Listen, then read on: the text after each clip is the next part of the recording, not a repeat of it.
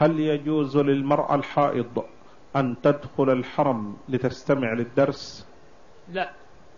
ما يجوز للحائض أن تدخل المساجد كلها لا الحرم ولا غيره. بل تكون خارج المسجد. تستمع بالميكروفون من السماعات الخارجية ما في بأس. أما دخولها في المسجد وهي حائض فلا يجوز لأن النبي صلى الله عليه وسلم نهى الحائض أن تجلس في المسجد. نعم.